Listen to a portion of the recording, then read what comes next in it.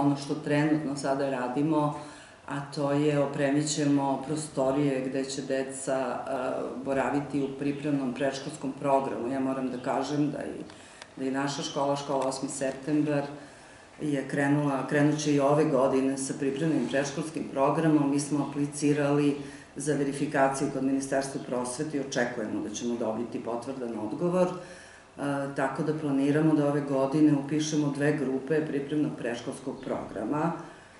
To se nalazi u novim prostorijama koje su sada rekonstruisane kada je bila faza rekonstrukcije, jako dobar i prilagodljiv prostor za decu i očekujemo da će roditelji prepoznati da je dobro da njihova deca borave ovde u školi, da tu pohađaju program koji je potpuno istovetan kao i program u preškolskoj ustanovi, i time će deca imati mogućnost da se u nekom dužem vremenskom periodu prilagode školi, e, školskom dvorištu, uopšte da upoznaju učenike, učitelje, tako da će period prilagođavanja na školsku sredinu zapravo njima biti mnogo, mnogo lakši. E, mislim da su uslovi za boravak dece pripremnog preškolskog programa jako dobri ovde, imamo potpuno uređeno i ograđeno dvorište, sa travnjacima tu gde se nalazi taj prostor za boravak predškolaca i eto to je nešto na čemu ćemo raditi u ovom periodu, da je prostor potpuno po svim normativima prilagodimo